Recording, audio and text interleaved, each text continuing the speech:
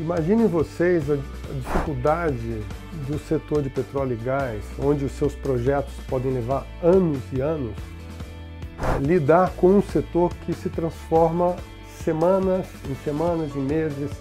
Esse é o nosso grande desafio da TechWeek. Então, é, o setor de petróleo e gás ele está adotando essas tecnologias disruptivas, emergentes, digitais, está adaptando elas ao setor e está aperfeiçoando. Tudo isso é, leva a uma redução de custo e vai deixar o nosso setor muito mais competitivo nesses tempos desafiadores de transição energética.